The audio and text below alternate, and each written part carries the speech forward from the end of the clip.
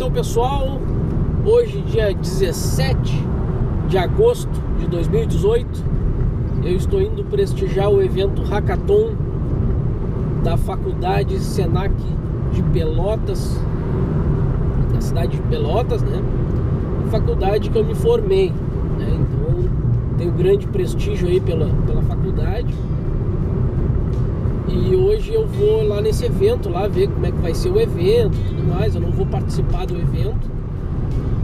Uh, eu só vou ir ver o, o, o, evento, ver como é que vai ser a abertura e como é que vai ser desenrolado o, o evento, o Hackathon, que começa hoje a partir das 19 horas e vai até, se eu não estou enganado, às 19 horas de amanhã, sábado, dia 18.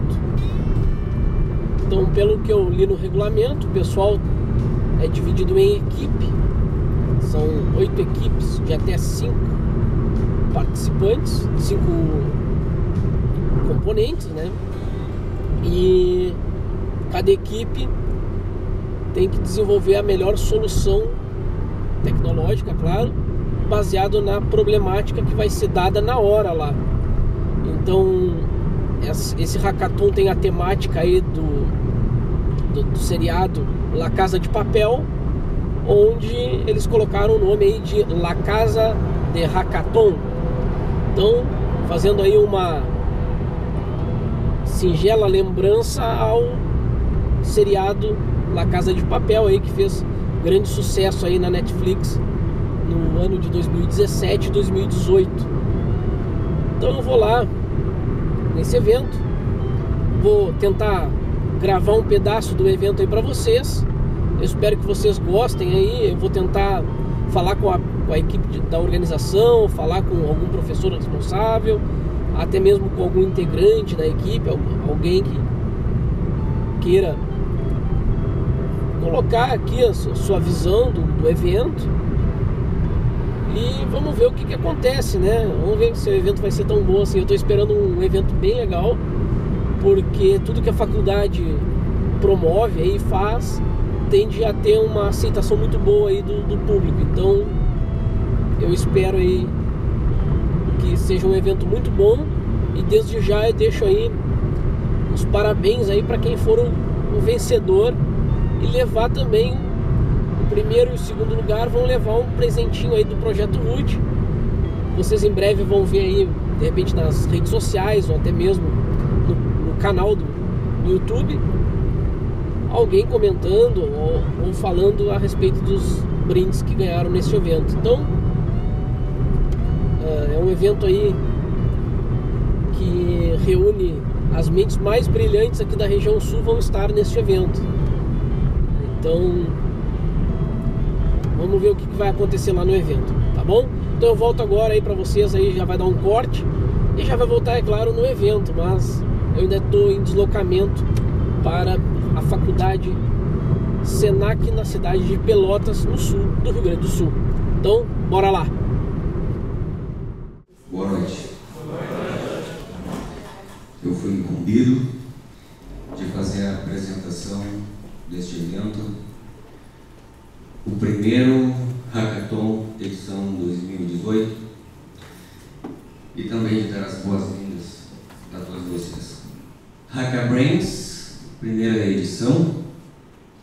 Inicialmente minha manifestação para apresentar nossos patrocinadores e apoiadores deste evento.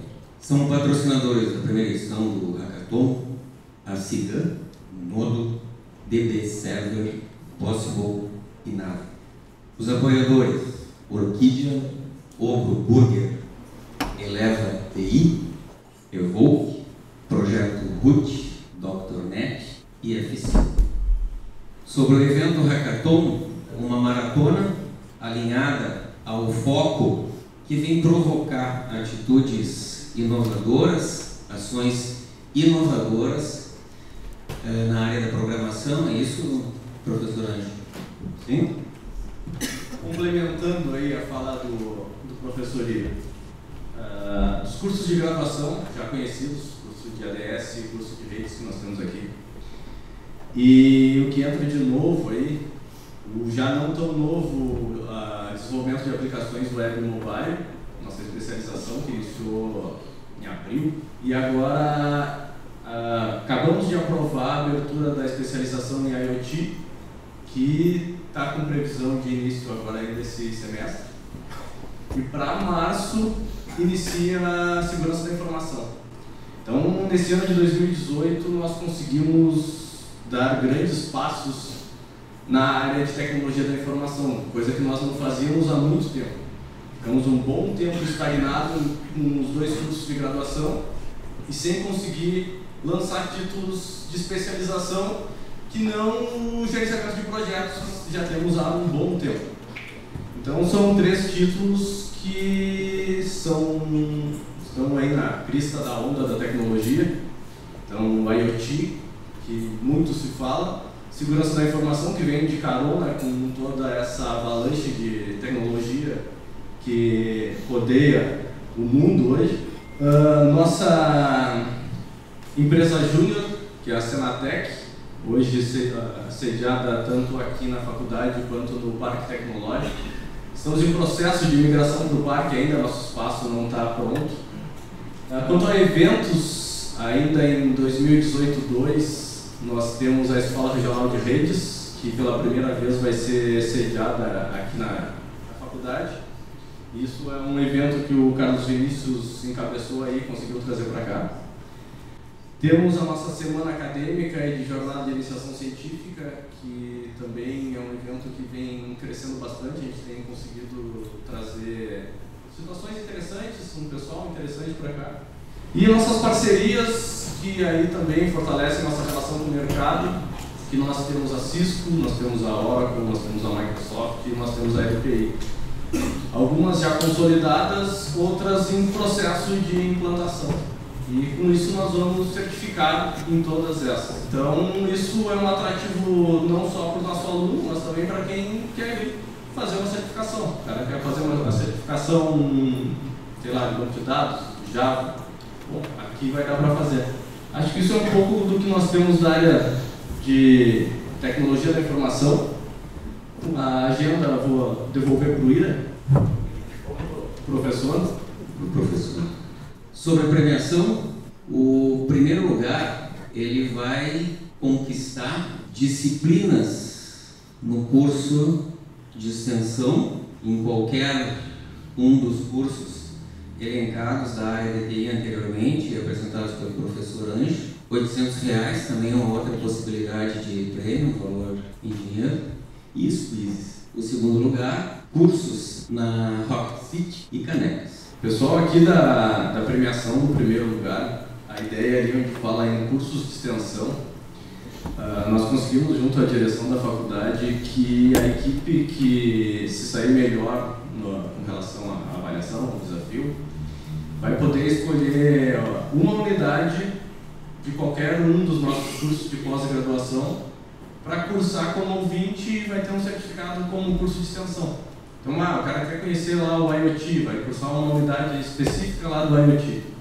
Ele vai ter aquele certificado como curso de extensão. Se depois esse cara resolver, ah, quero fazer esse pós-graduação, tá, ele já tem um aproveitamento para aquela unidade curricular, ele não precisa pagar aquela unidade, está tudo certo. Essa é a ideia desse prêmio que entra como curso de extensão. Tá? E mais os 800 reais e os squeeze.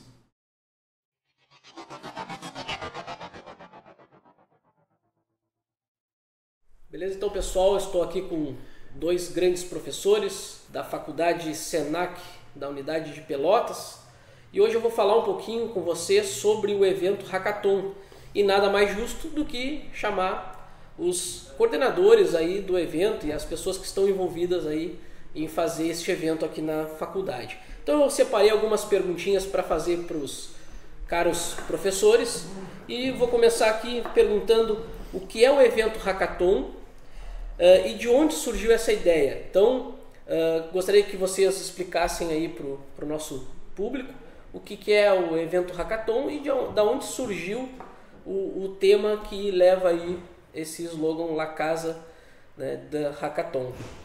Muito bem, Diego.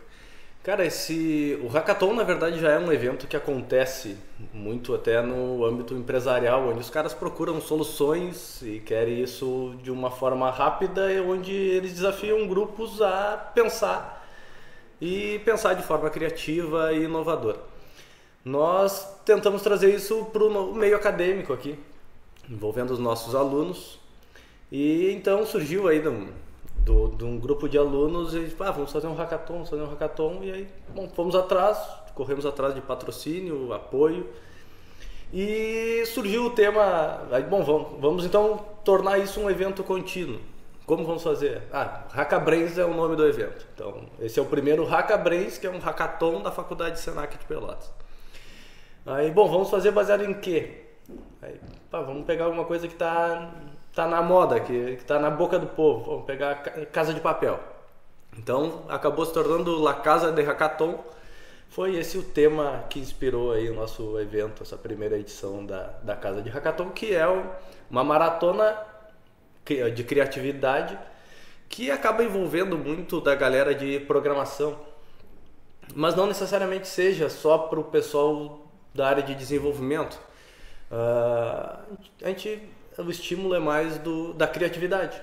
E a criatividade, cara, nessa primeira edição a gente acabou não abrindo, mas para a próxima a tendência é que a gente acabe puxando gente de outras áreas uh, também para participar. É, essa é uma das perguntas também que eu vou fazer um link agora aqui. O que é esperado dos participantes em relação ao tema e qual a ligação com o mercado atual?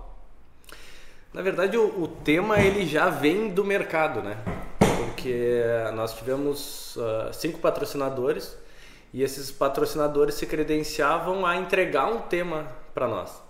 E desses temas onde eles fizeram diversas sugestões, um deles foi sorteado para ser executado no evento, que foi Cidade Segura. Então, uh, uma das propostas da faculdade, que foi sugestão até dada aos, aos aos patrocinadores, é que tivesse um viés social também, né? Não fosse só buscando uma solução uh, ah, para a indústria, para empresas sim. em específico, e sim mais um viés social. Então o tema conseguiu atacar bem isso, que é cidade segura. Segurança hoje, hoje não, há muito tempo é, é foco do país, né?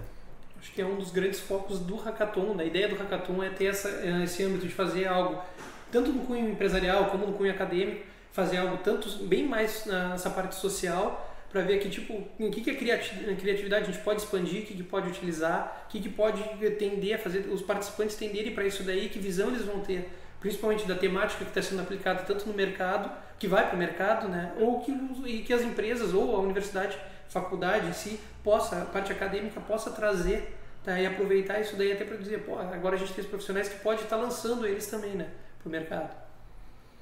Então, uma outra pergunta aqui. A faculdade sempre teve um engajamento com este mercado que vive mudando. Isso aí não é nenhuma novidade, né? não é à toa o tema mudando vidas.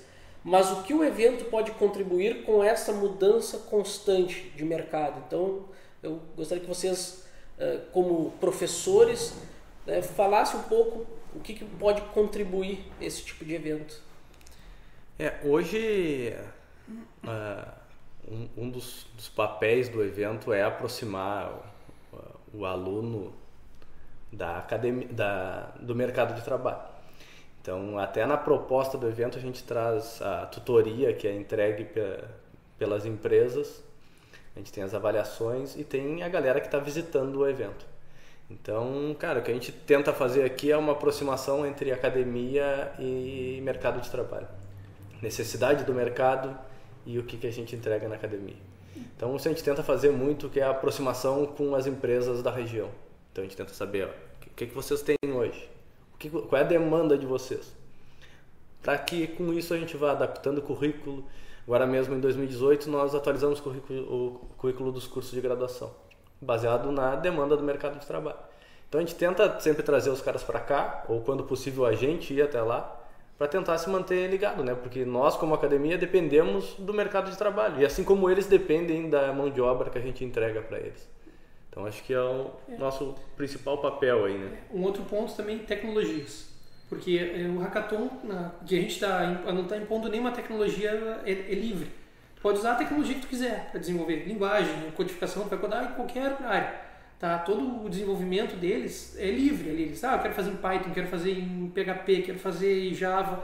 Eles podem estar tá fazendo em qualquer linguagem. E isso daí muitas vezes para o empresário, para o mercado, pá, os caras, essa tecnologia aqui, pô, não tô, não tô ligado nela então, isso aí também traz esse âmbito deles estarem aqui com a gente, vendo o que o pessoal está fazendo. Pô, isso aí é legal. Pô, tem pessoal que só trabalha com JavaScript, Node, uma React. Então, eles vão estar tá vendo isso daí, não trabalho, mas, pô, posso ter essa tendência. O que, que eu faço? Vou levar esse pessoal. Então, também tem esse outro ganho, esse outro lado, principalmente com foco em tecnologias. E até que se tu observar, até na fala do pessoal na abertura, todas as empresas que estão patrocinando, elas estão com vaga em aberto. Então, além de a gente estar tá tentando entregar coisas ao nosso aluno, está entregando ao mercado. Os caras estão aqui porque não. Os caras têm interesse aqui. Então, Sim. eles estão aqui para observar comportamentos, possíveis profissionais. Porque, cara, o mercado está com um buraco imenso que não se consegue ocupar com profissionais qualificados. Tu tem gente, mas gente qualificada aí é diferente. Então é isso que a gente tenta fazer, qualificar o máximo possível para suprir essas necessidades que nós temos então, na região. E pela própria fala do, dos nossos patrocinadores, eles pô, hoje o nosso grande, a grande uh, fábrica de mão de obra é a Faculdade Senac Pelotas. Ah, pela região aqui, pela estrutura que vocês estão preparando, a forma que vocês estão preparando esse pessoal, pô, supre toda a nossa demanda. Então, para nós isso é gratificante, nos força a preparar cada vez mais, ter evento desse âmbito para fazer essa junção tanto do aluno com a estrutura do mercado. E principalmente trazer o mercado e nós irmos até eles também. Sim. É, tem uma pergunta que eu acho que vai agora bem, na verdade, com o que vocês acabaram de comentar, que é para o primeiro evento, nesse sentido, o público que na grande maioria são alunos e ex-alunos, o que pode se esperar para uma próxima edição do evento? Então, é, é, esses, hoje, digamos assim, essas pessoas que estão desafiando, né? estão nesse desafio, estão planejando um futuro melhor, pode se esperar do evento para uma próxima edição que vá trazer um maior engajamento, que vai trazer uh, um público uh, a começar a procurar esse tipo de evento e começar a procurar a faculdade também.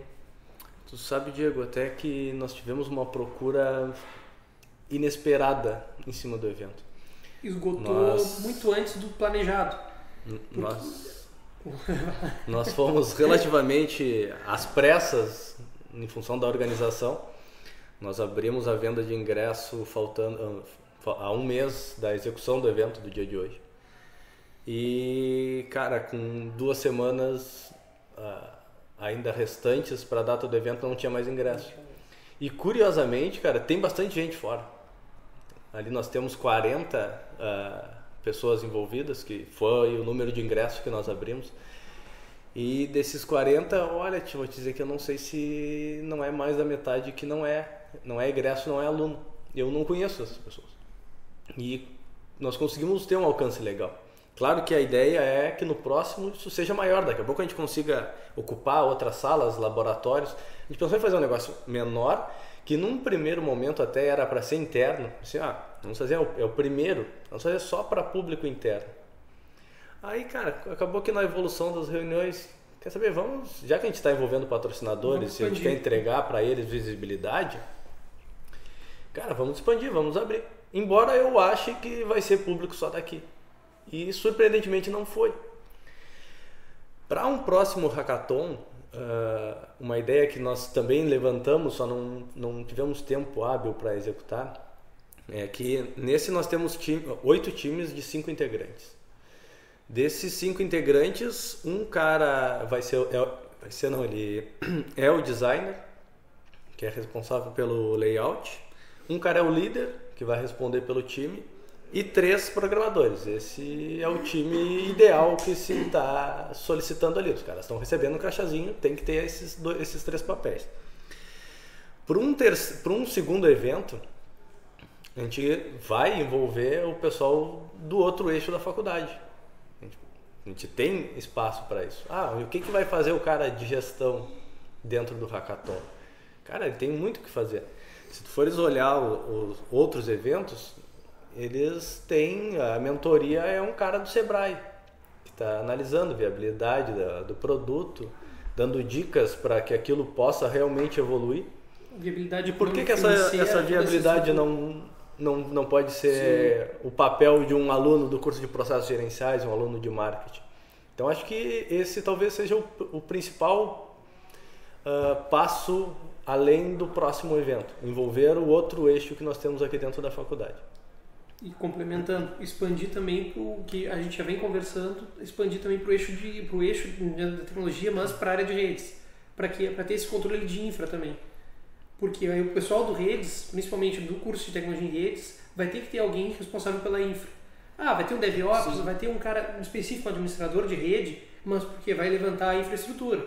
Ou seja, a gente vai ter que envolver mais, a gente vai ter que estar trabalhando também, querendo o foco do hackathon raiz lá, pegar essas, esses termos assim, tá? Porque tem essa parte de infra, tem essa parte de rede, essa parte de conectividade.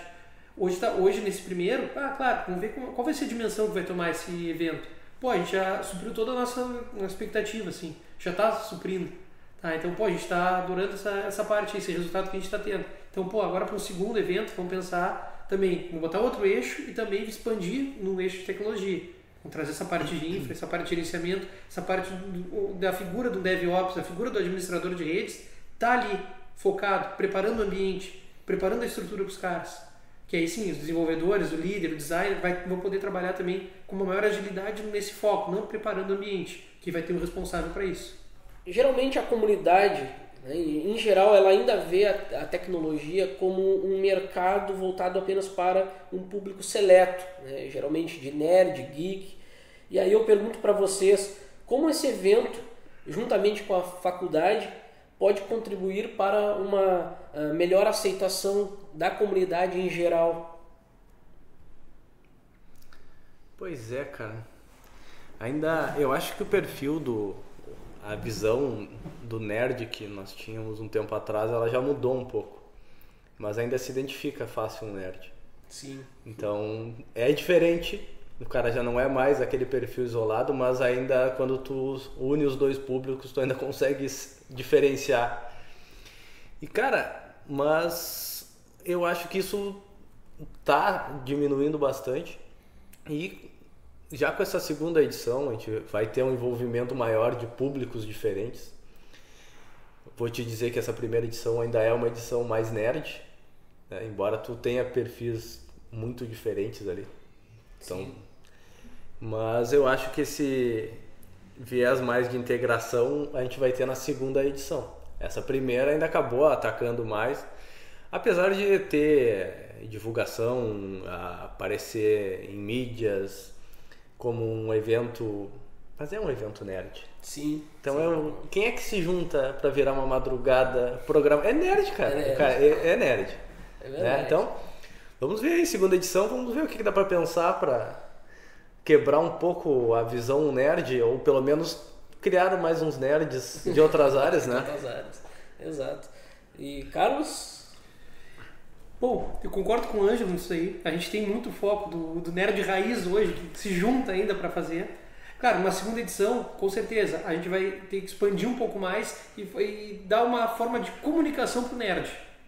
Porque ele vai ter que ter, trabalhar num nicho que não, é de, que não é só aquele nicho dele, onde a gente se entende. Aqui todo mundo é nerd. Aqui a gente não pode, a gente não pode. Eu sou nerd, hoje é nerd, tu é nerd. Então assim, ó, uh, tu teve aula com esses nerds aqui, então assim, a gente está em casa. Mas, pô, ter essa parte de comunicação com alguém da gestão, por exemplo, isso aí complica muito. Porque não é muito da nossa área ter esse tipo de coisa, essa É. comunicação. É verdade. A gente tem uma grande dificuldade para simplesmente, a gente consegue codando ou tipo, ah, fazendo uma estrutura, fazendo uma, uma infra, pô, a gente consegue se comunicar bem entre nós. Tem todo um perfil de linguagem, tem todo um entendimento da tecnologia. Passar isso daí para a visão de uma pessoa, uma pessoa da gestão, que vai estar trazendo, tipo, a viabilidade econômica financeira do, desse projeto. Ah, qual a tendência que a gente vai ter desse negócio? Fazendo essa análise, para nós dificulta um pouco. Pode ser algo que seja interessante numa segunda edição, porque além do, desse trabalho do hackathon, vai ter também a estrutura de como eu vou me posicionar com outras áreas. Expandindo também aquela visão do nerd trabalhando numa empresa, por exemplo. Isso aí pode ser um grande ganho a nível de aprendizagem. para o pessoal que vai estar envolvido. Isso aí pode ser uma grande vantagem que a gente tem, uma grande assim, ó, consolidação até do futuro trabalho. E é uma habilidade que hoje, mais do que nunca, precisa ter. Sim. Então tu vê às vezes os, os caras muito bons, mas que não sabem socializar. E aquele cara não consegue se desenvolver. E às vezes um cara nem tão bom, mas que tem habilidades sociais, se comunica bem, o cara evolui muito mais. Então a gente tem que trabalhar isso. Acho que ainda é uma coisa que a gente tem espaço para trabalhar e talvez atividades como essa vai ajudar a desenvolver um pouco mais o nosso público e até a nós mesmos, né? que ainda, ainda temos o que melhorar nesse, nesse sentido de comunicação, aprender muito com o pessoal da gestão aí nessa Trabalhar um pouco mais o lado humano, de como trabalhar, como eu vou socializar, principalmente socializar e tipo, ter essa convivência, que hoje é muito focado. Agora mesmo, daqui a duas horas, três horas, a gente vai chegar lá, na primeira volta já vai estar cara com fone e deu, só focado naquilo ali. Isso daí falta muito. Não tem esse, esse link. Ah, tu faz isso, faz aquilo lá, eu vou programar e boto os fones e acabou e vão ficar até 6, 7 da manhã fazendo aquilo ali, testa. Aí vai ter uma segunda roda de comunicação. Então, isso daí é uma Sim. coisa que a gente tem que, ter, tem que ter esse trabalho mesmo. É uma, uma característica assim, de, de eventos, como eu já participei da Campus Party, é, realmente é, é assim mesmo. O público acaba se isolando no seu mundinho, né? E acabam construindo as ferramentas na, na, na própria Campus Party, quando eu tive lá no, nas três vezes que eu participei, é, eu participei de algumas oficinas e eu vi que o pessoal pegava a missão, né, tinha um briefing ali, o pessoal pegava e sentava na sua bancada, se isolava com os fones de ouvido e aí ele saía dali só depois quando estava uh, o tempo para testar, apresentar o, o, seu trabalho. Mas uh, eu vou finalizar aqui com uma última pergunta. É, que vocês deixem um recado para o nosso público e para as pessoas em geral da comunidade, eh, da visão de vocês como professores e também como os co-criadores, se não os criadores do evento Hackathon aqui na, na faculdade, e que vocês possam dizer para o nosso público o que eles podem esperar, não só no evento aqui da faculdade, porque muitos dos nossos inscritos são de outras cidades, mas que, que essas pessoas possam procurar outros locais, né? A visão de vocês em relação a esse tipo de evento. É, cara, assim, ó, uh, que é outra proposta do evento, é o networking, né? E, cara, TI, hoje tu precisa disso. Então, e esse tipo de evento é uma situação ideal para tu socializar, conhecer que, que os caras estão fazendo, o que, que a, quem está ao teu redor está trabalhando, né? Então, se não for o Hackathon aqui, cara, vai ter eventos similares aí em cidades, em todo canto do Brasil, se tem esse tipo de, de prática aí. Então, é um, uma prática que cresce bastante, seja semana acadêmica de instituições, seja eventos como o Hackathon. Então, acho que tem que procurar aparecer, contato, acho que isso é muito importante hoje em dia, né, cara?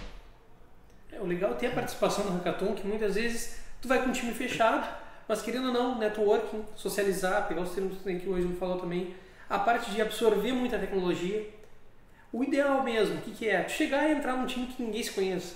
Tá, isso é a grande ideia também que o, o Hackathon Raiz traz. Tu vai chegar, tu vai estar, tá, ah, eu e mais quatro, cinco pessoas ali que a gente nunca se viu na vida, cada um trabalha com uma tecnologia. Pode trocar muita figurinha, vai trocar muita informação. Pô, querendo ou não, o cara trabalha na empresa A, B, C, D, E. Pô, tô vendo ali, a gente troca um cartão, vê, tem aquela, aquela troca de informação, já está expandindo o networking. Pô, então eu também estou socializando isso daí, tô, cara, pra, pegando um fluxo nerd. Pô, tô respirando tecnologia, tô passando o que eu sei, tô absorvendo o que os caras sabem. Tô vendo qual a tendência. Pá, tem dois, três desse grupo que estão trabalhando com aquela tecnologia. Pô, isso aí pode ser uma tendência, eu não estou ligado nisso aí. Pô, da onde eu venho não tem. Quem sabe eu levo isso daí. Então, ter essa expansão também tecnológica que eu acho que é um grande, também um, uma, um grande ponto positivo. Claro, procurar o hackathon sempre vai ter em algum lugar. Ah, tem algum evento, tem alguma coisa, sempre vai ter um hackathon ali. Pode ser um pouquinho menor, algumas grandes, grandes eventos. Brasil aí tem muito, muito noticiário, muito eventos sendo realizados. Pô, tem vários eventos sendo feitos até por instituições, né, tipo de, ah, não sei se vinculados até à própria SBC, de repente pode ter alguma coisa, Sim. né? Então isso daí é uma coisa que já tem pego bem essa, esse foco. As empresas têm patrocinado, a academia está patrocinando. Então eu acho que é bem legal participar. Tu vai ter um grande ganho, sempre tu vai sair ganhando de qualquer jeito, ou aprendizado, ou networking, conhecendo gente, uh, fazendo essa integração da parte de tecnologia. E isso daí é um ponto bem positivo mesmo. Beleza? Então, pessoal, uh, eu tive aqui com o professor Ângelo Luz e o Carlos Vinícius. Então, agora, no próximo take aí, vou mostrar para vocês um pouquinho do evento. Tá bom? Um grande abraço e eu fui. Abraço. Abração.